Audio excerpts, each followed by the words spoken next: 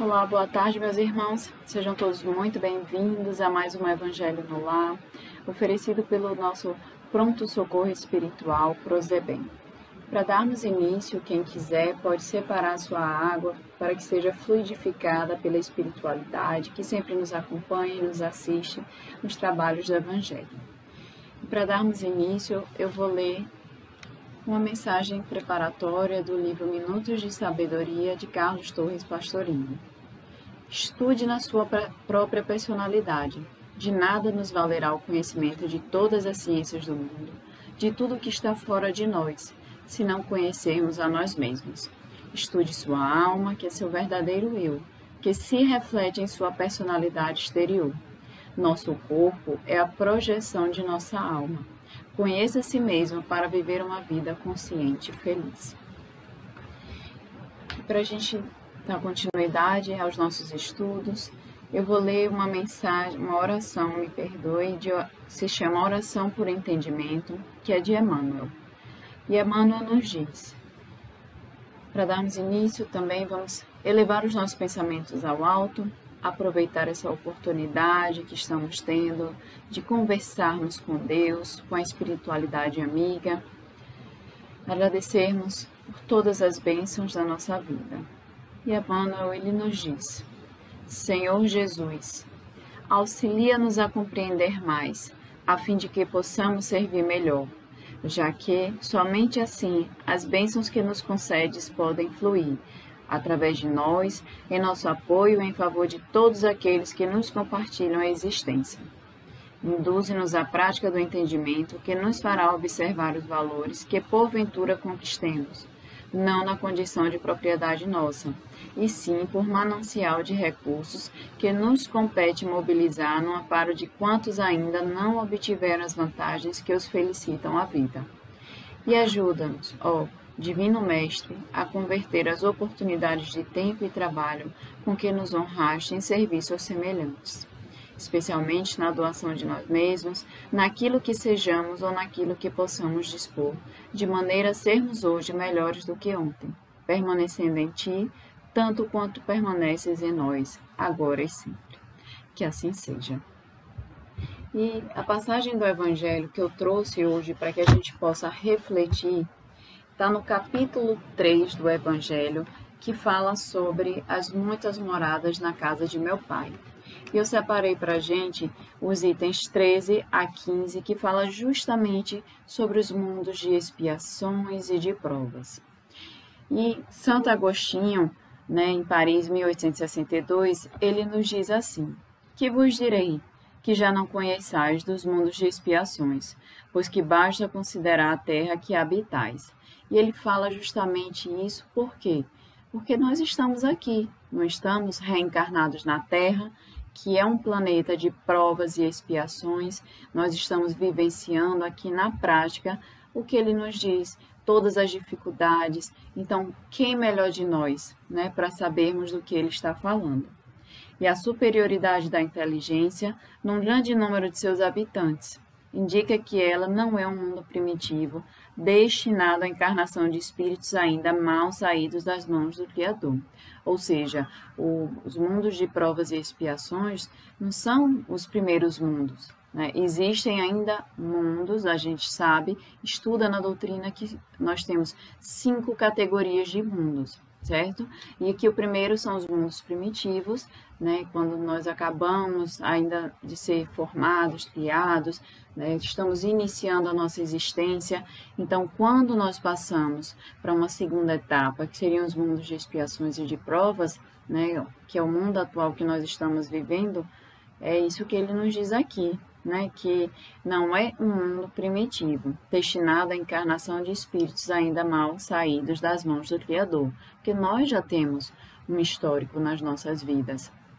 E quando nós estudamos, nós aprendemos que nos mundos de expiações e de provas, né, que é a nossa atual condição aqui do planeta Terra, a predominância é do mal. Então, essa é a razão né? Porque neste planeta o homem ainda vive por tantas dificuldades e por tantas misérias. E ele continua que suas qualidades inatas são a prova de que já viveram e realizaram um certo progresso, ou seja, já fomos piores do que somos hoje. Né? Nós já evoluímos alguma coisa.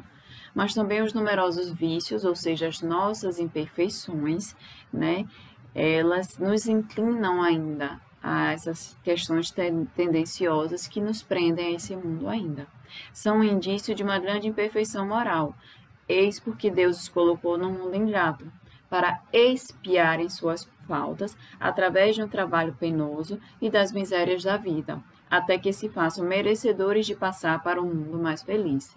Então, na Terra, Santo Agostinho, né, nessa mensagem, ele nos diz que os espíritos em expiação, né, se se pode assim dizer, os seres estrangeiros, indivíduos que já viveram em outros mundos, né, eles retornam aqui para expiarem. Como a gente viu, nós viemos dos mundos primitivos.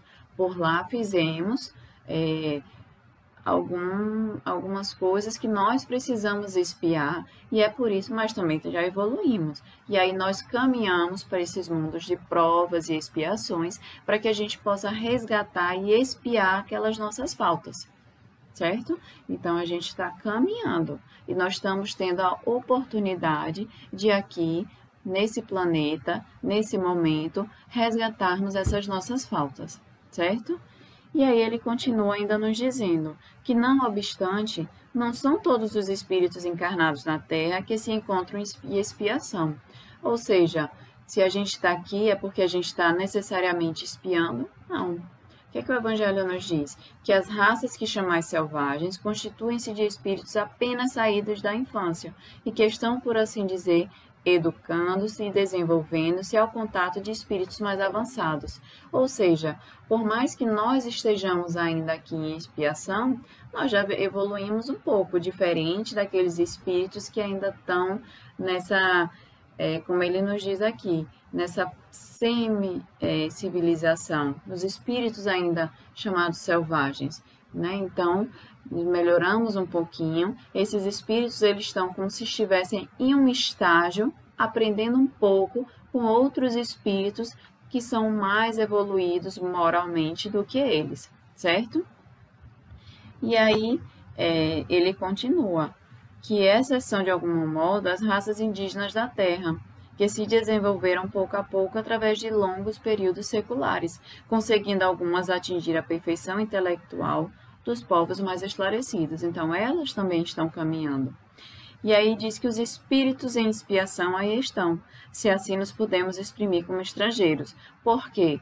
Porque já viveram em outros mundos, dos quais foram excluídos por sua obstinação no mal, como a gente sabe, a predominância do mal, que os tornava causa de perturbação para os bons.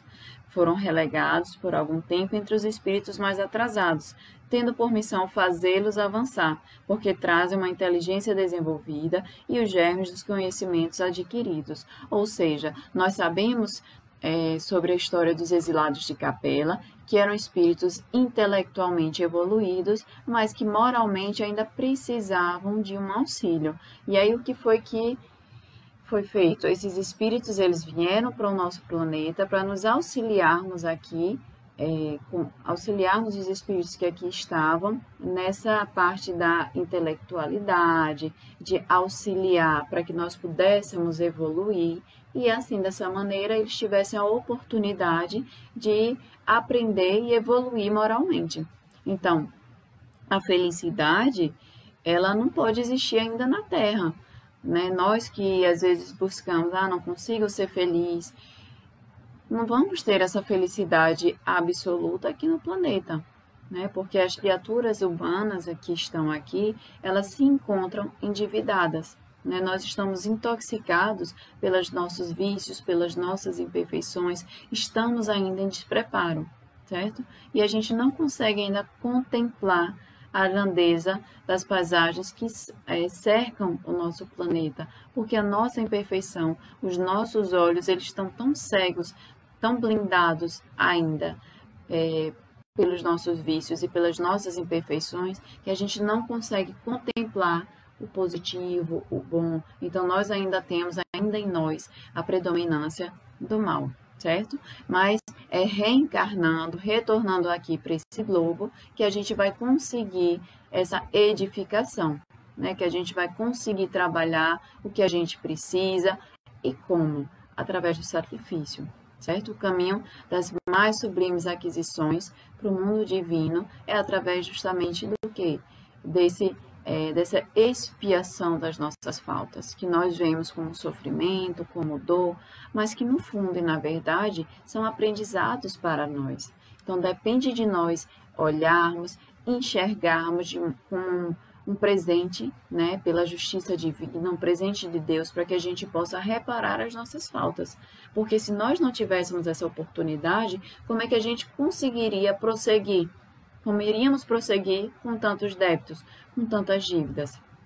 Então, é, continuando aqui, ele ainda nos diz: é por isso que os espíritos punidos se encontram entre as raças mais inteligentes, pois são estas também as que sofrem mais amargamente as misérias da vida, por possuírem maior sensibilidade e serem mais atingidas pelos atritos do que as raças primitivas, porque as raças primitivas, elas ainda não tiveram esse despertar certo? É, não tem ainda é, o senso moral, não é ainda aflorado nela, porque elas ainda estão no estágio inicial da sua evolução. Então, ele continua ainda nos dizendo que a Terra nos oferece, pois, um dos tipos de mundos expiatórios, porque não existe só o planeta Terra. Todos os espíritos não estão encarnados. mundo de provas e expiações existem vários? A nossa galáxia é imensa, existem inúmeras, infinitas galáxias. Então, seria muita pretensão nossa achar que existe apenas esse mundo de provas e expiações. E aí ele diz é, em que as variedades são infinitas, mas têm por caráter comum servirem de lugar de exílio para os espíritos rebeldes à lei de Deus. Ou seja, se nós não agimos, se nós não andamos em consonância com as leis divinas, nós acabamos cometendo as faltas e essas faltas são elas que nós precisamos reparar, certo? E ele diz que nesses mundos os espíritos exilados eles precisam lutar, ao mesmo tempo, contra a perversidade dos homens e a inclemência da natureza. Trabalho duplamente penoso, que desenvolve a uma só vez as qualidades do coração e as da inteligência. É assim que Deus, na sua bondade, torna o próprio castigo proveitoso para o progresso do espírito. Então a gente tem que ver, é, utilizando inclusive essa palavra que ele coloca aqui, né, que Deus coloca é, um castigo proveitoso para o progresso do espírito, porque nós aqui nós estamos é, passando por esse processo de reparação dos nossos erros. Então a Terra ela vai também, como a gente já sabe, deixar de ser um, um um mundo nesse estágio de provas e expiações e vai passar a ser um mundo de quê? De regeneração, né? Porque como tudo na natureza, a, o nosso planeta ele também está submetido à lei do progresso. Então a Terra ela precisa progredir. A Terra nós espíritos não ficamos estagnados no nível ali dos primitivos ou nesse nível que nós nos encontramos, nós vamos evoluir. E para a gente habitar um planeta de regeneração, um mundo de regeneração, a gente precisa acompanhar aquilo ali, certo? É como um aluno que está na escola, para ele passar de ano, ele precisa é, ter conhecimento das matérias para que ele possa acompanhar o próximo nível, certo? Então, seja materialmente, seja moralmente, seja fisicamente, todo o nosso planeta, nós né, vamos passar também por essa transformação.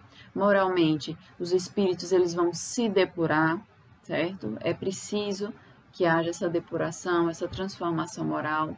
E aí esses progressos eles vão se realizando paralelamente, certo? Melhorando a habitação, vai também é, aprimorar o nível dos habitantes que habitam ali naquele planeta, certo? E o nosso planeta, ele também vai passar por essa transformação. A gente vê é, que ele já está passando, já vem um tempo, muito lógico que por causa, inclusive, das nossas escolhas aqui para o nosso planeta, e isso acaba gerando consequências, mas quando a gente é, estuda a lei de destruição, a lei de destruição pela lei divina, ela não é apenas uma lei de destruir para findar, finalizar e acabar Pelo contrário, a lei de destruição, pela visão espírita, pela visão da doutrina, é a transformação. E é isso que está acontecendo com o nosso planeta, é isso que está acontecendo com nós. Nós estamos deixando esse mundo de expiações, nós estamos deixando é, os nossos vícios, as nossas imperfeições aqui nesse planeta e estamos caminhando para esse novo mundo. Agora, existe também uma observação.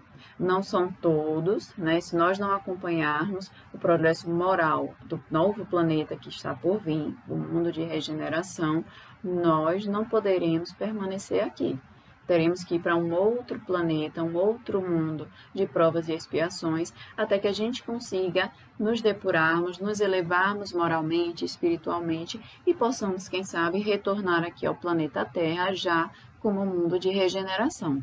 Certo? Então, para que a felicidade ela impere aqui na Terra, é preciso que povoem apenas os espíritos bons, aonde o bem prevaleça, certo? E eles se dediquem a isso. Então, a gente já está caminhando para isso. É importante que a gente comece a se preparar. Vamos praticar a caridade, vamos praticar a empatia, a resignação, vamos exercitar a autotransformação, a nossa reforma íntima, que é isso que a doutrina ela nos pede, que ela nos clama a fazer porque a gente não consegue mudar o mundo exterior se a gente não mudar o nosso mundo interior. Então, precisamos deixar dentro de nós primeiro que o mundo de provas e expiações se extingua, se transforme aqui dentro de nós no mundo de regeneração, para que a gente acompanhe essa transformação que está se passando em torno de nós, certo? E aí essa foi é, foi o, o tema do Evangelho porque a gente trouxe para poder conversar, para a gente poder é, refletir um pouco. E para a gente finalizar, convido a todos a fechar os olhos, elevar os pensamentos. Vamos agradecer pela oportunidade de estarmos aqui reunidos no santo nome do Senhor Jesus, de estarmos aqui unidos refletindo sobre o Evangelho, sobre os seus ensinamentos, sobre os ensinamentos trazidos pelo nosso Mestre Jesus. Agradecer pelo teto que nos abriga, agradecer por cada benfeitoria, Senhor, por cada oportunidade. Sabemos que existem irmãos em piores condições, que possamos agradecer, nunca reclamar. Agradecer, agradecer a tudo que nos acontece, porque sabemos que tudo, Senhor, é uma chance, é uma oportunidade para o nosso crescimento. Obrigada, Senhor, pela nossa saúde, a saúde dos nossos familiares. Amparai por aqueles irmãos que agora padecem nos leitos de hospitais, por aqueles irmãos que agora vão dormir ao relento, sem um alimento. Tente piedade e compaixão, Senhor. Auxilia-nos, Senhor possamos ter um final de tarde de muita paz, de muita luz. Que assim seja. Obrigada a todos, até o